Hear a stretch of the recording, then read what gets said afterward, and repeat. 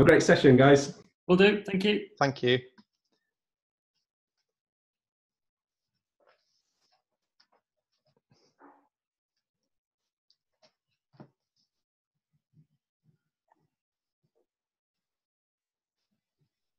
Oh, here we go. We have people filtering in.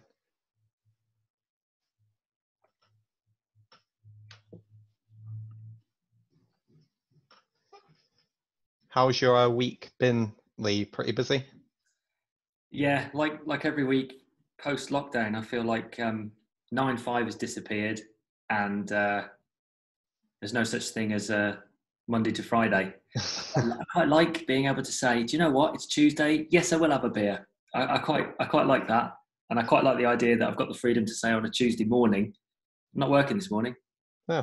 So uh, the freedom has afforded me a bit more of a psychological bump, and so Yeah, my weeks feel busy, but I'm getting used to it. I think. yeah. I think a lot of people have um, become quite, um, you know, keen on the current working arrangement just because of the amount of flexibility that it gives them.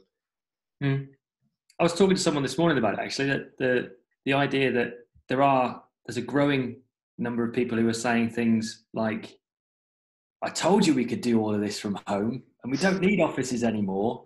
I'd like to ask that person how they feel after doing it for a year. Yeah, Um, but I do think that you know the general idea of returning to offices will be more about culture for an organisation and, and creativity. yeah. and No, I, uh, sitting at a desk. I, I definitely think that offices will still be needed just because of the in-person interaction, like you said. Like Mm. it, it's all good and well doing things over video, like it's great, but it just doesn't have that same dynamic. Nah. But yeah, definitely, offices aren't gone for sure. Like I would love to give a hug to every one of the 50 people currently here. oh, all right. Well, I think it looks like everybody's filtered through now, um, so we'll we'll get started. Um, hello, everyone, um, and welcome to NASFA's keynote of the conference, the future of fundraising, um, everything that you need to know. My name is Josh, and I'm your call host today. And just to confirm, this session is being recorded. So if you're not potential uh, comfortable with potentially being in the recording, you can leave now and access the session um, later on at another date. I'm absolutely thrilled to introduce you to Lee Clark, who's our keynote speaker from Give Penny. Just to give a bit of background on Lee, he's um, a basketball loving, computer game playing, proud husband and dad of two, and he's the chief um, executive officer of the digital fundraising platform um. Um, and just to give a fun fact about Lee, he once warmed up a DJ set for Fatboy Slim. I'd be really interested to hear the story behind that because that sounds like quite an experience. Um, but yeah, so throughout the session, um, if you could please introduce yourselves in the chat box to let us know who you are and where you're coming from, that would be absolutely amazing. Um, and if you have any questions, please just put them in the Q&A box and I will do my best to get those questions over to Lee throughout the session um, and at the end as well. And if you would like to continue the conversation with us after the keynote is over, we will be going to the coffee shop and a link will be posted to that towards the end of the keynote presentation. Um, but without further ado, Lee, I'll let you take it away. Hi, everybody. 58 of you. Wow, what a privilege. I hope you're all okay um, and uh, staying safe, but trying to find some fun at the same time. Um, thanks to uh, to everybody involved in in asking me to to take part in the conference. It, it's a it's a privilege to be able to speak to you. So I'm hoping that you all get something from today. Um, if anything, uh, you can form your own opinion on what the future of fundraising is. Um, as uh, as Josh pointed out, um, I'm the uh, the CEO of GivePenny. Um, it stands for Chief Everything Officer um, because when you start anything new, you eventually you start pointing in a direction and leading people through stuff. But for now, and hopefully um, from a, a work enrichment point of view, I get to do quite a lot of stuff every day, and long may that continue. So yeah, Chief Everything Officer here at GivePenny. We're a fundraising platform that um, arguably we're a little bit early to the party with the idea of connecting stuff to fundraising challenges because it's more fun to do that way. I mean, we did this four years ago now. Um, and then lockdown happened and the world has changed for us as it has for charities and their attitudes to fundraising. So I'm going to talk about today sparks off ideas and I just wanted to say thanks to, to everybody for, for, for tuning in. Um, so let me just share my screen first of all. Let's rely a bit on technology for a second. Here we go.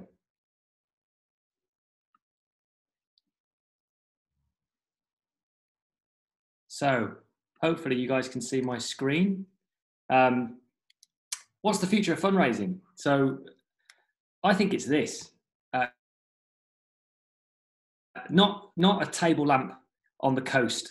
Uh, I actually think it's real world experiences being captured in a digital way. And we've been moving towards that um, as a, a, society for a very long time. Um, but before we go any further, who the hell are these people in Generation X and why have they ruined everything? Uh, Generation X followed traditionalists and the baby boomers. Um, I'm part of Generation X. We, we grew up struggling to work out what the internet was and how it might fit into life. I remember the first time I was watching television, terrestrial television, so you couldn't pause, rewind, watch anything on demand you had to watch the adverts. And I remember the first advert that showed a website link, which was surreal to me. The idea that a company would have a website. And actually, for the older people on on uh, on the stream today, who remembers Microsoft Encarta? I mean, we talk about the internet being like access to the the world's information at the touch of a button. Microsoft volume of an encyclopedia on a CD disc. Um, I remember walking into the IT room at school. Um, yep, a room uh, for IT, uh, just a room full of IT, and, and opening the CD case and popping it into the tray, and the tray automatically uh, putting the CD into the uh, into the PC without any of my help. My first search of this volume of the encyclopedia was was of, of course dinosaurs. I love dinosaurs. Who remembers MySpace? Some of you might remember MySpace. It was a drag and drop uh, web page builder. There was Friendster, uh, arguably the first social media platform, the f-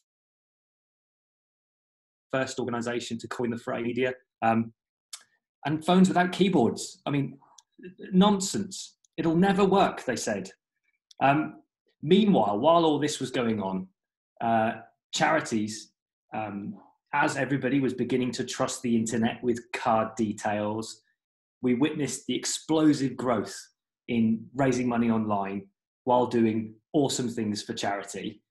Um, and I should say, shout out for Just Giving for creating the online version of the sponsorship form and raising billions worldwide since.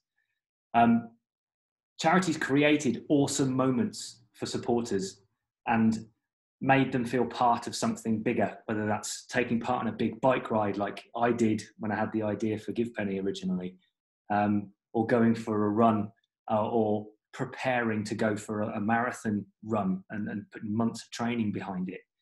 Now, or I should say pre COVID, things moved on a little. It, it's getting harder and was getting harder anyway to sell places at third party events as people have found more fun things to do in their spare time, whether it's tracking steps um, or, or, or, streaming video games. Um, everyday happenings, things that we enjoy doing every day, are being tracked and broadcast everywhere. Um, I've raised loads of money um, uh, for different causes, doing different things on GivePenny. Um, when we first launched in 2016, um, the first charity on our platform was the Little Princess Trust, who um, whose main service was to provide real hair wigs for children going through cancer treatment who were losing their hair as a result. Um, I did a million step challenge. So I connected my Fitbit to, um, to my fundraising page on GivePenny. I asked my friends and family. It was the first ever fundraising challenge on GivePenny. So even my friends and family were like, what's this? What, what is this thing? And they sponsored me per step. They said, I'll give you a pound every 10,000 steps, or I'll give you 20 pounds when you reach a million steps and also giving one-off donations throughout the challenge as well. Um, and I was one of these people that uh, who had a Fitbit in the early days, um, back in the day when uh, Christmas Day, the number one um, app um, download was was the Fitbit app, um, and I uh, was watching Game of Thrones. I think it was might have been season four, maybe I can't remember which season. If you know, put it in the chat. So, um, 2016, what season were we on in Game of Thrones? Getting up and walking in the living room at like nine o'clock at night because I'm only 500 steps off 10,000. I'm one of those people. But knowing that every single step was earning money for my favorite charity um, uh, held held a lot in my heart, and I, I wanted to replicate that, bottle it up, and create a product that other people would would have the same experience um, using. So while we're on the subject, who the hell are Generation Z and how the hell have they ruined everything? Uh, um, Generation Z, adults, now, like now. Um, I know so many people um, in the charity sector and the commercial sector that still think that Generation Z are all children, and it's just it's it's a, a misconception. It's um, a laziness of thought. Um, Generation Z had no idea um, have no idea what life was like without Snapchat, um, Instagram stories, let alone unprecedented access to the world information using something called the World Wide Web.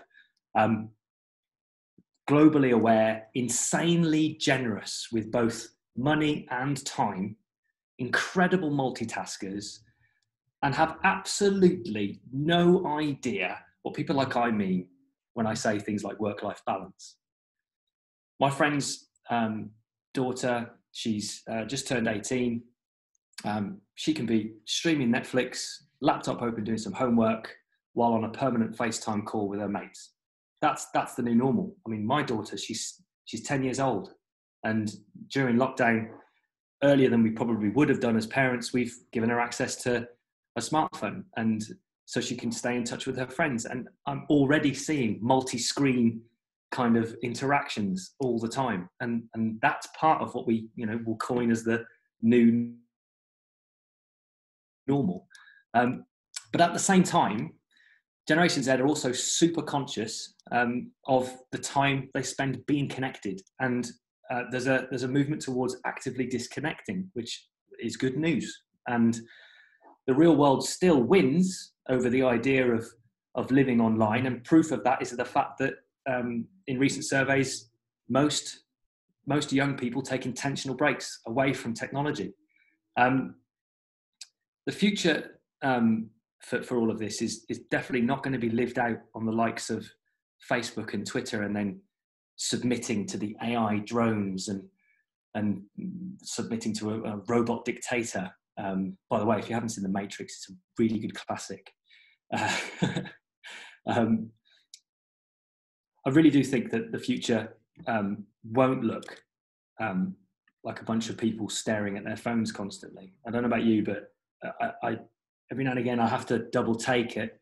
You know, I do miss the pub, and this weekend there might be some return to to how that might feel. But you can be in conversation with one person from within a group of friends, and you're sat around, but like over half of you have your faces in your phone, and I'm one of those people as well. I don't think that the future um, for, for, for society and again and how this relates to, to fundraising involves us staring at devices. Um, one second. By the way if there's any questions josh just fire them. I do like to be interrupted. Yeah no absolutely. I um i will when they come your way. There's none in the chat as of yet but guys if you do have any uh, questions as we're going just please put them in the Q and A box, and we'll uh, go from there. So I do think that um, part of the future will be that people are snapping, gramming, streaming things. And pre-COVID, I expected that there would be a movement um, towards continuous documentation of, of the world around us, whether that be for personal use or whether that be about feeding the machine that, that might be a social media platform. Um, I would say that um, there's a good case to, to suggest that the coronavirus pandemic and the lockdown conditions it's created have sped up the process. Um, but I, I, also think that that might be about adoption of those behaviors by older generations. So I'm a I'm an early adopter. I'm, I like to pull things apart. I like to try new things, and that's not going to change even as I go through my 40s, 50s, 60s, and you know I'm hoping to be a really cool granddad one day with rocket boots and a hoverboard. But um, many people I know um, around my age, for the first time, have encountered video calling and and streaming and even playing video games and live streaming that and watching other people do stuff and and, and live quizzes and and, and whatever it's going to be. Um, so I think that um, further wider adoption of technology um, has given the impression that um, Snap, Gram, and Stream um, uh, has been a real growth factor during lockdown. But you can't deny that we're spending more time online than we have um, pre-COVID. and I would say that everybody's becoming a better content creator. Um, you've got a situation where the quality of a video produced by someone literally from their bedroom um, can hold its own against some of the um, content produced by multi-billion dollar corporations. Um, right at the beginning of, uh, of, of, lockdown, um, our response at GivePenny, um, humble old GivePenny, was that um, we would create a, uh, a playlist for the nation to listen to to lift their mood. It was about a few weeks into lockdown and I think everybody was feeling the pinch a little bit of not being able to see loved ones or, or even go shopping or any of that kind of stuff. And so we created the nation's playlist. Um, I was invited to go on Sky News. I was interviewed in the morning, but to think that the uh, the camera um, used to create that kind of content for Sky News is the same camera that I'm using for today's session, um, which is a little old FaceTime camera and a MacBook. Um, and the quality of content that we're seeing from people who are podcasting and then also filming it to then upload to things like YouTube.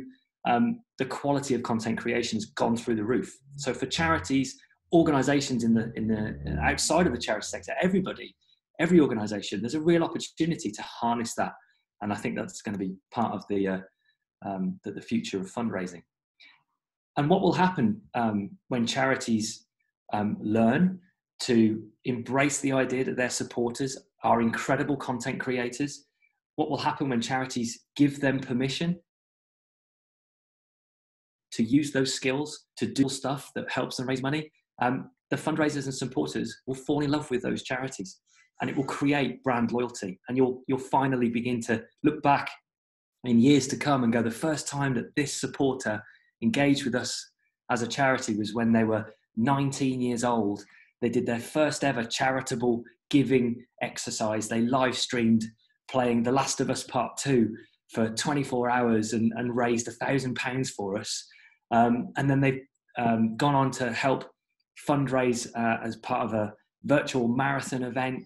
Um, five years later, they engaged the company that they worked for um, and got the entire organization to uh, undertake a massive steps challenge. Um, they had music sponsored by friends and family that raised money for adding tracks to a playlist. They then took on their first real world marathon and they did the London Marathon and then they did an Ironman and they raised £10,000. And then in their 50s, they became a regular giver. And at the end, they left a legacy in their will. That's the holy grail journey for any charity and what they want a supporter to be um, for them. So uh, right now is an opportunity for charities to engage with a huge audience because the thing about 2020 given the age range given the, the fact that we still bless them we've got traditionalists we've got baby boomers we've got generation x and millennials and we've got generation y and generation z and they're all adults the audience the potential audience of supporters and loyal brand lovers has never been this big. But 2020 has been a little bit of a challenge so far. And I don't know if anybody's noticed, but it hasn't been very easy. However, disruption creates conditions in a market for creativity. And charities have come out and created amazing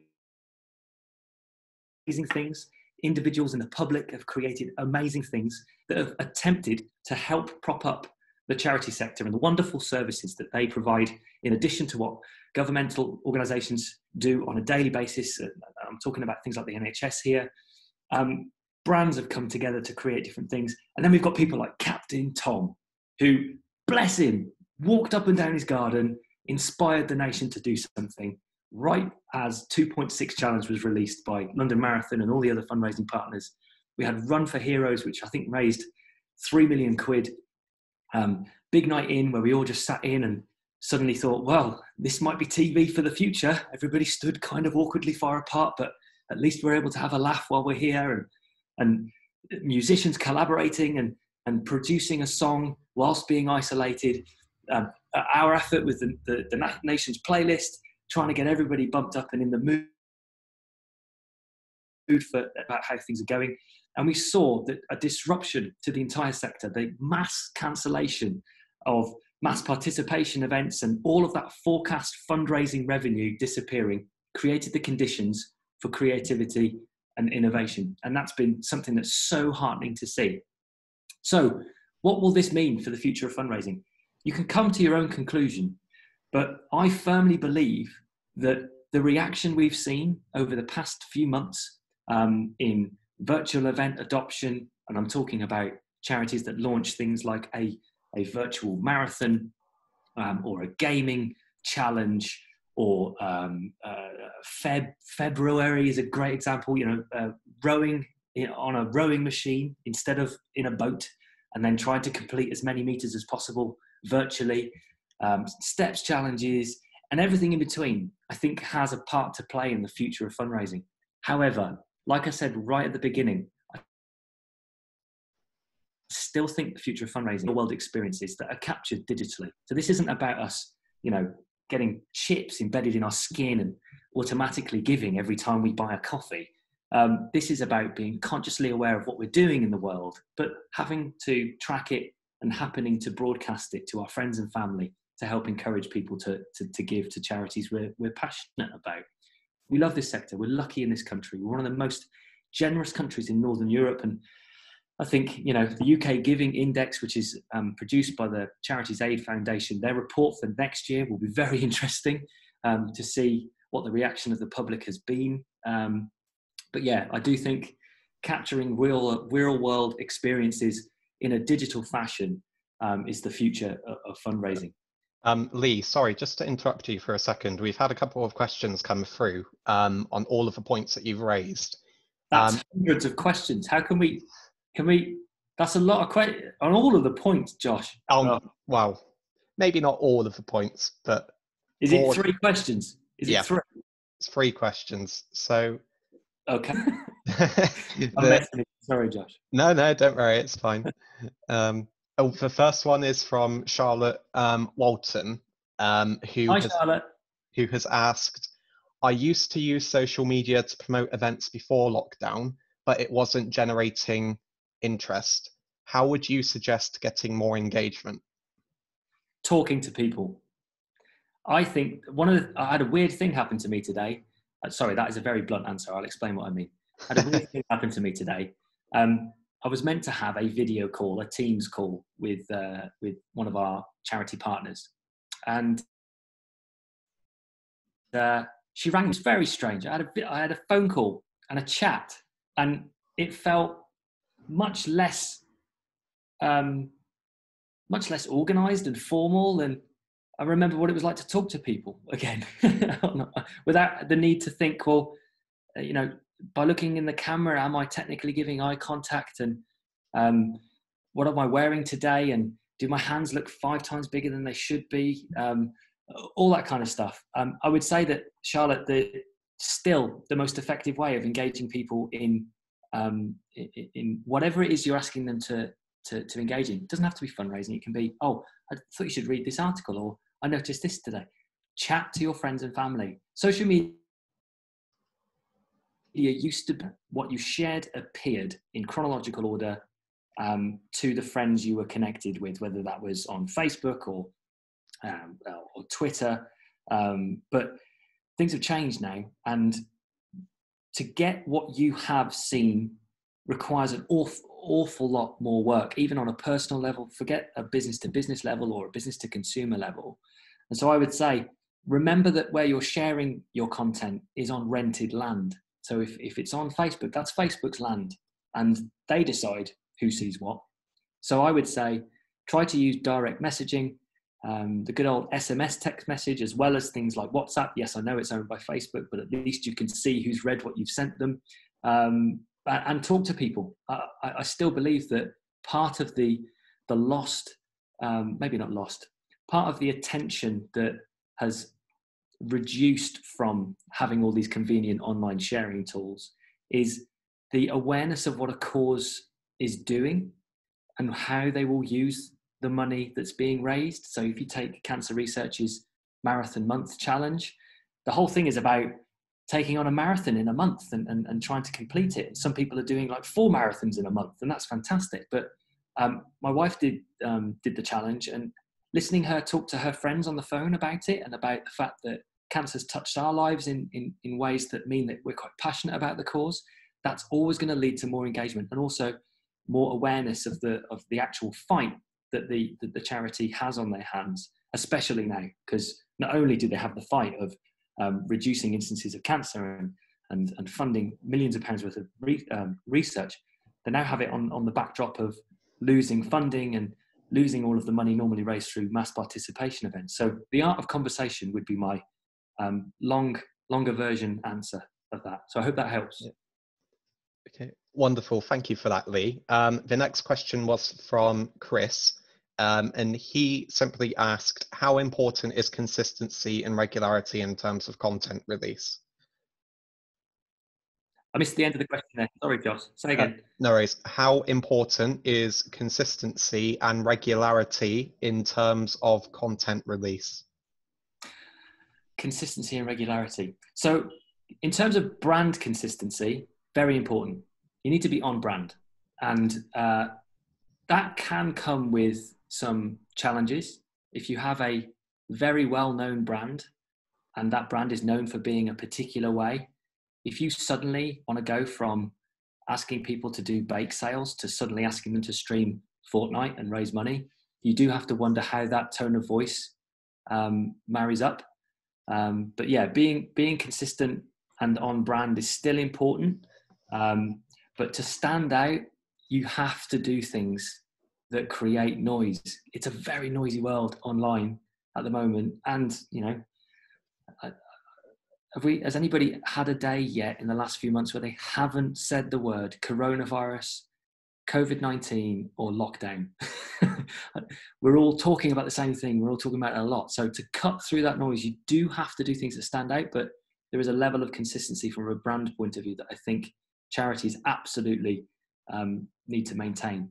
Um, I mean, if you look on, on the slide that's up there at the moment, um, Help for Heroes have, are rightfully, they fight very hard to ensure that they've got consistency across their brand. Um, and everything they produce um, uh, nods to that. The value is in their brand. They're not, they're not the biggest charity. People assume to be a huge charity. They're a very well known brand. They have a consistency of message that I think works really well but they're able enough with that with that brand um, to go into gaming and at the same same regard um, talk about the kind of services that they provide and the support they do for society. So yeah, con- consistency is key, but you've got to do something to stand out, and you can't be afraid to to do something that stands out. Yeah. Okay, interesting. Um, and that helps. um, and the other question that we had was from Eleanor Garton, who was just interested to know how much the Nations playlist um, has raised so far.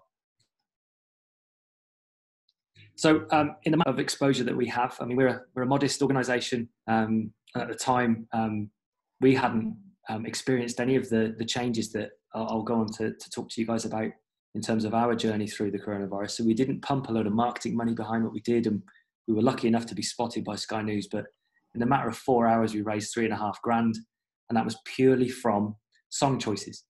So we had people, you could donate as little as 50 pence to add a song to the Nations playlist. And actually, if you go on Spotify, it's still there. If you go to the nationsplaylist.com, um, you'll find the playlist there. And um, it raised three and a half grand. It had millions of eyes um, on Cancer Research UK at a time where really it felt like the country's only charity in mind was NHS charities together. Now, there had to be a watershed moment in the national conversation where everybody realised that it's not just about the NHS charities together um, uh, movement, but the entire charity sector. There's 100, 185,000 registered charities in the UK, and every single one of them, literally overnight, suddenly had the same problem. And rightfully, everybody was um, talking about the NHS. Um, we were clapping on Thursday nights, and you know, and and the attention was rightfully there. But there had to be a moment where um, the, the, the country realised that charities needed our help, and I think the Nations playlist played its part. Um, and for you know, being on Kay Burley's breakfast show, never been that nervous in my life ever. And I'm stood in my kids' playroom having a chat. Um, you're talking about four and a half million eyeballs. Um, so I think it was good for the exposure and, and, part of the conversation for getting the idea that charities needed our help, not just the NHS, given how amazing they were. Um, charities all, are all in, in, in all areas of, of, of um, supporting society needed our help around that time. So yeah, proud of that. But yeah, about, about three and a half grand so far. And the intention is to, uh, um, to continually re-release the nation's playlist, um, either in aid of other charities or with different themes in mind and working with um, celebrities and influencers on that at the same time. So something that we know connects everybody is music. So yeah, that's why we did it that way. Okay, awesome. Thank you so much um, for answering those questions, Lee. We do have a few more, but I'll try and save some for the end because I'm just conscious about eating into your actual um, presentation time. Okay, I'm winging it anyway. We always do. We're all winging it at the moment, aren't we? Right. Um, so yeah, um, uh, I, I, was going to talk about the, the, the story, not just for us, but I think we we have a um, a story based on the effects of the lockdown and, and, the coronavirus on on society and what that meant for for for people surrounding the charity sector, suppliers, partners, um, fundraising platforms, everybody, events companies, everybody. Um, so the 23rd um, or around then that, that, lockdown was announced and we all kind of knew something was coming and there were still people going they'll never close the schools. Well, how would that work? I can't see how that's going to work. Um, bang there you go overnight. Schools are closed and if you can work from home you should. You shouldn't leave the house and all that stuff. And we're sat there thinking online fundraising has to play its part here. So let's get in touch with all of our current partners and see if we can help them. So we we we were already set up to work remotely and luckily that meant that there wasn't much ramp up time for us and learning how how to to make either your personal laptop work for work or, whatever. We were already in that position and we were able to quickly get in touch with the, the charity partners we already had on board and talk to them about how to um, rapidly deploy virtual events, online challenges, creative donation appeals, and all of that kind of stuff. Um, two days later, um, as an offhand comment somewhere on on uh, on Facebook, um, I mentioned, would anybody like to know how to spin up a virtual event in under an hour? Because that's effectively what um, one of the main um, core functions of GivePenny is. And we had 400 registrations for a webinar. And to put that into context from a, business to business point of view, because we are an organization, a, a business um, that has charities for customers, if you run a webinar, um, educational or otherwise, if you have 20 people attend, that's a success. I mean, today, what do we have? About 80 people, Josh? Um, that's incredible. Um, Pre COVID, if you had you know 20 30 people that, that would be an incredible and, and then if half of them actually turn up and engage with you that in itself would be successful. So for us, we were inundated, absolutely inundated. Every single person who registered turned up to the webinar. Again, didn't expect that. We went through how to spin up a, a virtual event from concept all the way through to like configuring the, the platform and, releasing something. And what that led to was uh, a barrage, in a positive way, uh, of charities using GivePenny to ask their supporters to support them during these difficult times. It was also around the time that we were learning that, you know, the likes of the London Marathon were in doubt and that um, football wasn't going to be happening and and all this kind of stuff. Um, and so uh, during that time, you know, quite proud of the idea that, that, that the team here at GivePenny um, were able to step up and, and, and help so many charities, big and small, swiftly launch things that help them raise money when they needed it most. Um, and what that's meant for us is that we've then gone on to speed up engagements we already had with existing partners, with the likes of Help for Heroes and St John Ambulance and Cancer Research UK, and get ideas out there to their supporters um, to help them replace. Uh, and it is a small proportion of the loss that they normally would have raised as a result of all of these events and physical gatherings and coffee mornings and everything else in between being cancelled. Um, so yeah, it's it's forced everybody to think more like Generation Z, and I think that one of the fundamental things that I love about um, being a glass half full person is that you can always get through it. You can always find a way. And I think the way out of out of all of this, when we learn to to um, to work in slightly different conditions, maybe temporarily, but I do think there'll be some permanent um, relics that we see in society as a result of this this lockdown. Um, behaving more like Generation Z, um, swiftly changing things, pivoting, being in a perpetual state of revolution, always um, not afraid to, to challenge the status quo, um, I, I, think would be the right kind of behaviour for, for charities and, and people looking to raise money for charity um, uh, to engage people that, you know, friends and family to, to donate. Um, so, yeah, I think people should be more Zed, basically. And uh, that's it. So, yeah, thanks very much for listening so far today. Brilliant. Thank you so much, Lee. Um, I'm sure everybody got a lot of um, value from that session. Um, we do have questions coming through, so I'll just read them out to you in um, chronological order. Um, so, Rosie um, Hunnam of Organised Fun, she asks or has stated that students are often at the forefront of innovation and creativity. What tips do you have for student leaders and particularly student fundraisers about where to start putting their energy for fundraising. Where can they start leading the way when they start back at university and college in autumn? It'll be about your, your, your tribe. So first and foremost, surround yourself with people that say yes. Don't don't think you should do it on your own. Don't try to do it on your own. I mean, goodness knows, I, I know when it comes to getting ideas off the ground and leading people and trying to create a movement, um, you can't do it on your own. So talk to people. Um, if you're returning to university, talk to your close friends. If it's the first time that you're going to university, I mean, I feel for you because this will be the weirdest experience. Um, although you won't know the difference because you don't know what it was like before. So you might be all right.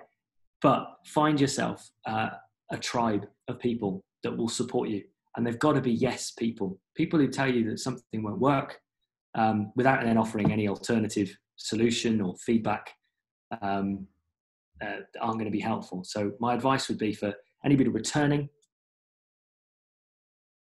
um, um, don't don't give up uh, I think it's Dyson. There's there's a couple of pieces of advice that I, I've had before. Um, Dyson says go where others aren't.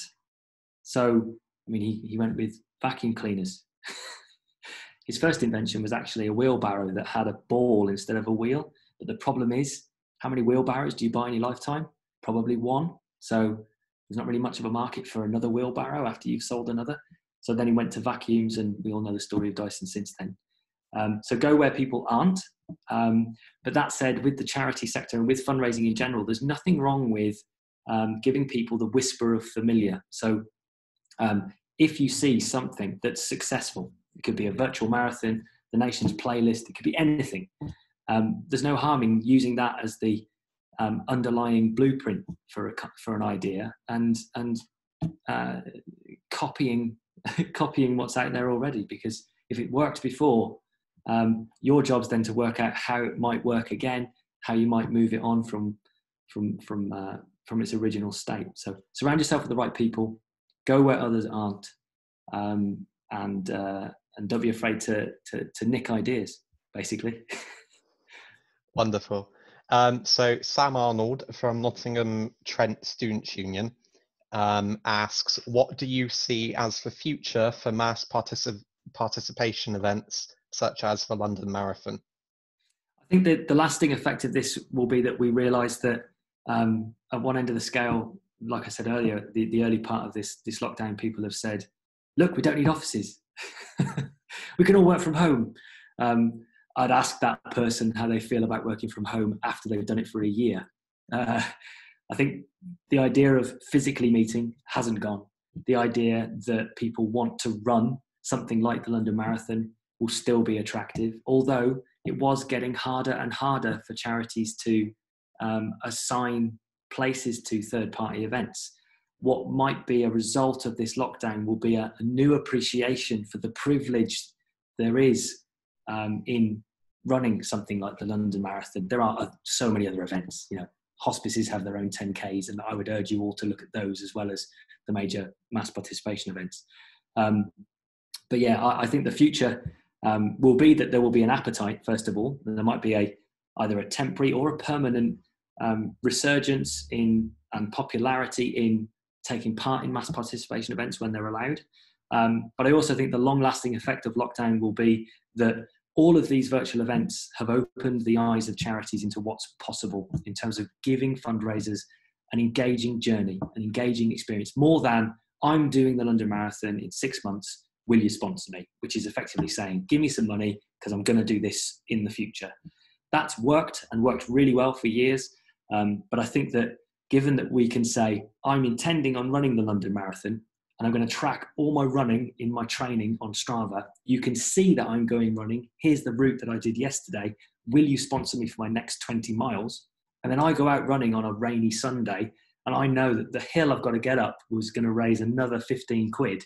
I think that that type of digital experience bolted onto the crescendo that is crossing the finishing line at the London Marathon will be the new type of mass participation experience. It'll be a longer, more engaging, more enriching experience for supporters if charities recognize the power of allowing a content creator to do what they do in the lead up to the thing they really want to do because what we don't see is the original story behind behind GivePenny i trained for a 100 mile bike ride and uh, bear in mind, I hadn't cycled longer than, than 20 minutes. Um, and I decided I'm going to do the equivalent of a marathon on a bike. So I buy a better bike, like most people think that they need to do. It's nothing to do with the bike.